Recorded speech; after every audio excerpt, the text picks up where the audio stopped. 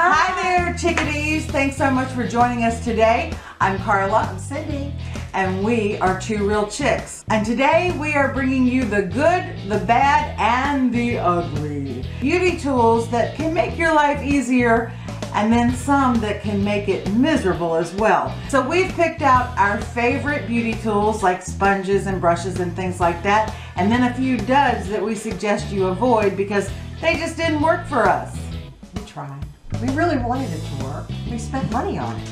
What you got, Miss Cindy? Well, let me put my glasses on. This is a Sigma eyeliner brush. Sigma Flat Definer E15. And it gives you a perfect little line when you're doing your eyeliner, especially with the cake eyeliner. It's flat, it's sturdy, it's perfect, you know, it gets it nice and wet and you just go in and lay it down as you go.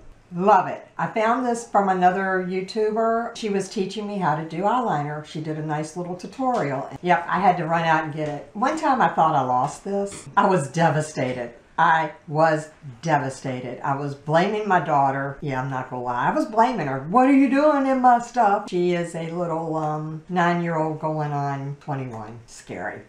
Diva in the making. Yes, she is. I love this brush. I cannot tell you how much I love this brush. It's a little pricey, but I've had this for three years. Highly recommend you go out and get this little baby.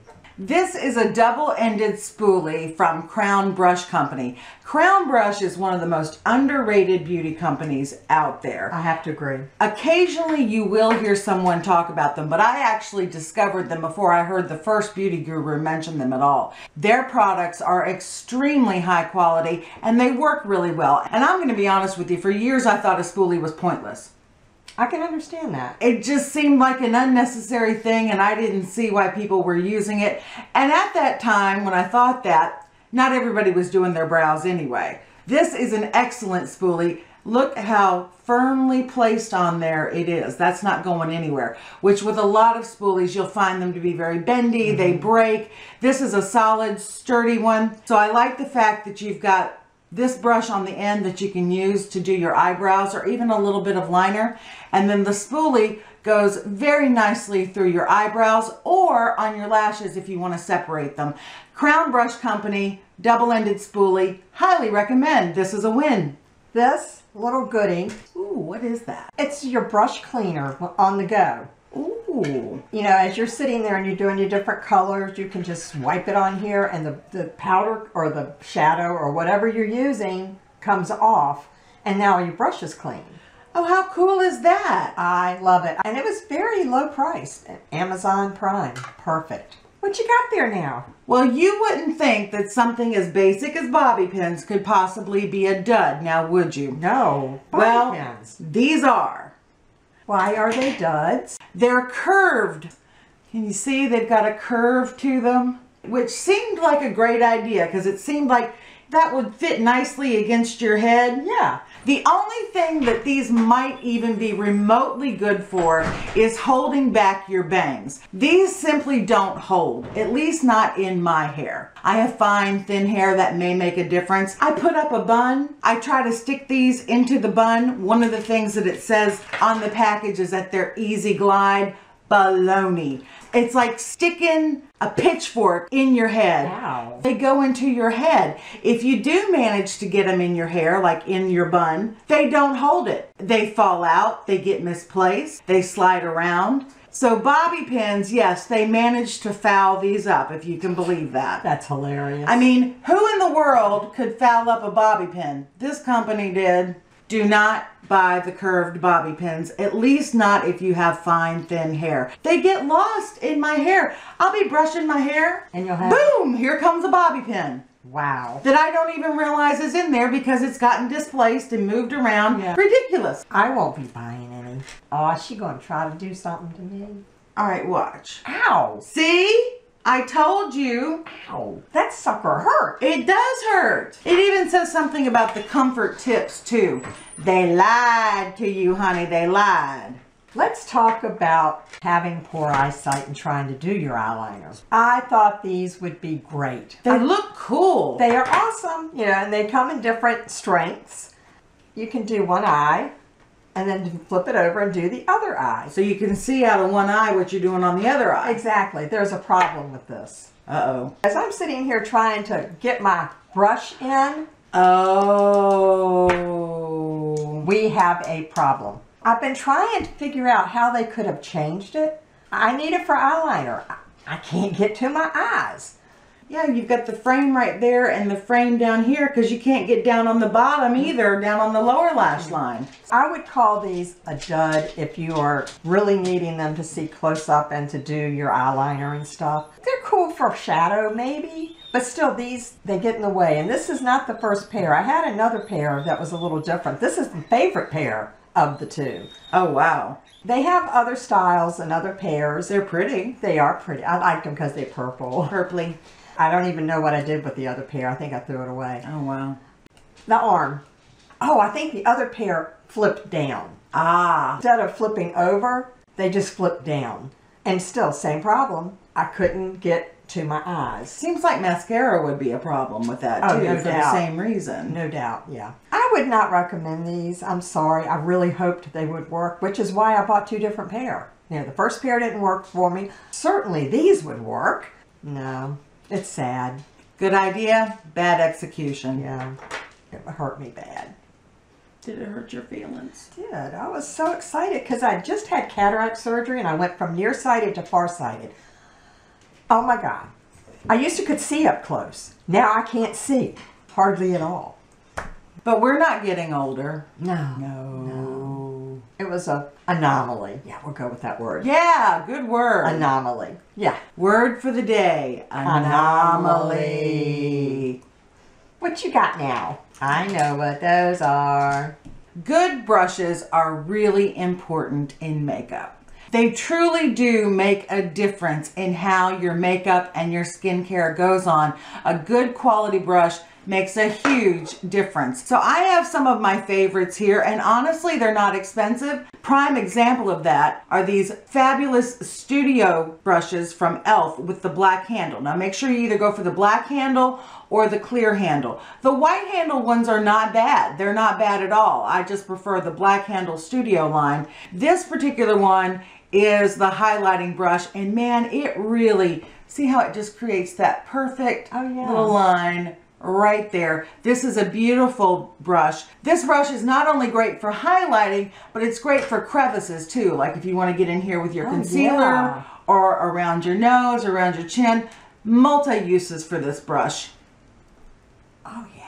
There you go. That's so pretty. It feels so soft. They are soft. These are typically three to six dollars a piece. The most expensive one they have is the Ultimate Kabuki brush, and that one is ten dollars, which I have that one as well. I have yet to run across an e.l.f. brush that I don't like. e.l.f. brushes are terrific quality and they're a terrific bargain too, so definitely check those out.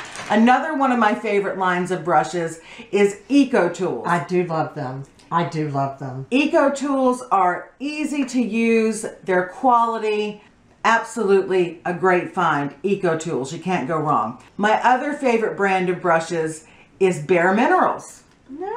Bare Minerals makes fabulous brushes. This particular one I love for making that outer V Oh. because it just oh. fits perfectly right in there and the angle really helps with the curve of your eye. But I've never come across a single Bare Minerals brush that I didn't like. So Bare Minerals, e.l.f.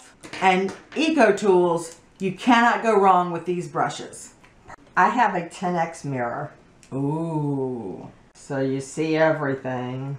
the good, the, bad, and the ugly. What I like about this is it's, it, it lights up. Oh, I love this mirror. I carry this everywhere. It sticks. it's got major suction on the bottom. You can stick it to your mirror, uh, your bathroom mirror. Don't stick it on a painted wall, it will fall. When you're traveling, if you loosen one of these batteries, That's loose. I think I got your attention. If you throw one of the batteries, don't make me take that away from you. If you loosen one of the batteries, of course it won't cut on, and then you're not wasting precious battery time. And then just pop it back in when you're ready to use it. I highly recommend this little goodie. I love this mirror. I take it anywhere I go. Oh, wrinkles. Let me see. Oh, get that thing away from me! But it helps you see without having to wear these. Yeah, but it helps me see things I don't want to see. Girl, you're just looking at it 10x. That thing scares me. I'm scared. I'm scared. I get scared too. I'm scared. This is the Real Technique sponge. The reason I'm choosing this one as a definite win is we all know a beauty blender works, right? These come in a pack for what? Two for five dollars, two for six, something very inexpensive. Mm-hmm. And these work really, really well. I also like the Real Technique sponge because it has two sides. You've got your pointy side so you can get in there with your concealer around your nose with your crevices. But I like the flat side too because I can really get in around my chin, on my cheeks. I like that it has the two sides. Mm -hmm. It's got a nice thickness to it, a nice bounce to it. Get it nice and wet and you've got a perfect combination for making your makeup go on smoothly. Really like this sponge. I do love mine too. I use it often. As you can see, it's been well used. Here is waterless brush cleaner. I love to keep my brushes clean. Sorry, not sorry. I picked this up at Ulta. You just spray it on, spray it on. You just spray it on and rub it into a oh, paper towel. Good. Yes, it does. It's got a beautiful scent to it. it Smells good. Oh, that did come off. Wow. Look at that. And that was a clean brush, or what I thought was a clean brush. Nice product. I do love it. I use this a lot What too. is it again? It's called, I cannot pronounce it, Jap Japonesque. Japonesque Waterless Brush Cleanser. Rapid Dry Formula. It's almost like dry shampoo for your hair. Cool idea. I love it. I love it. I'm going to do one more goodie and then I'm going to do an ugly. This is an odd looking little thing, isn't it? You've yeah. got these like little tweezer things on this end and this little flat side on this end. This came in a kit of Ardell false eyelashes and it's a false eyelash applicator and it works terrific. I can't use tweezers to put on my false eyelashes. It's something about the metal near my eye. I'm afraid I'm going to gouge my eye out. I'm not the best at putting on false lashes as it is. This really does help a lot. You've got this little area here for you to squeeze so it's ergonomic. It's got that built in right there with the little pads for your fingers to go in. Squeeze the lash, place it on your eye.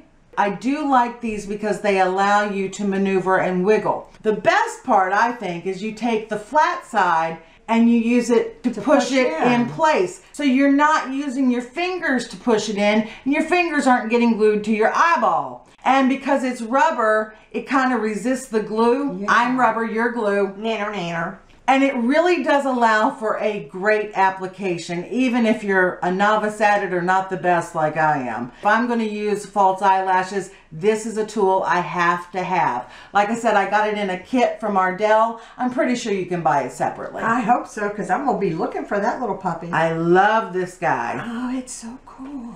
Let's face it, applying false eyelashes is stressful enough as it is. The last thing you need is a stressful tool. Ooh. I need this. Ooh, yeah, I need that. It's nice and smooth so it doesn't hurt on your eyelids. This is a great little tool. It's a couple of bucks. You got something else? I have an ugly. We told you this is the good, the bad, and the ugly. This is bad and ugly at the same time. We recently did a video on crappy, horrible products that we hate. We'll link that up above and down below so that you can watch it. This was in that, but I gotta mention it in this too. As far as beauty tools, this is also supposed to be an eyelash applicator. This looks like a great idea, but here's the problem. It's curved. But your eyes are curved. But they're not necessarily curved the same way this is curved. So basically you put your strip lash in here and then the idea is that you take it and place it on your eyelid, let go, and boom, you have a perfect eyelash application. Not so much. The way this is curved does not match the curvature of my eye. Does it match the curvature of your eye? Not too great.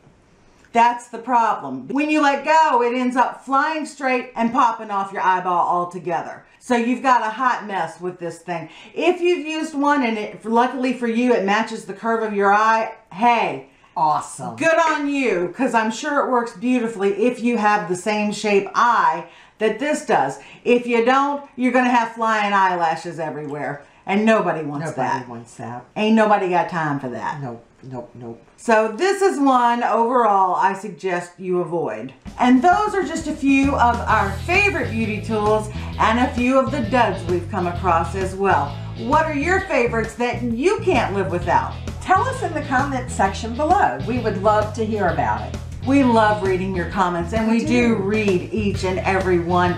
Your kindness and your support means so very much to us. And we also try to answer everyone that we can as well.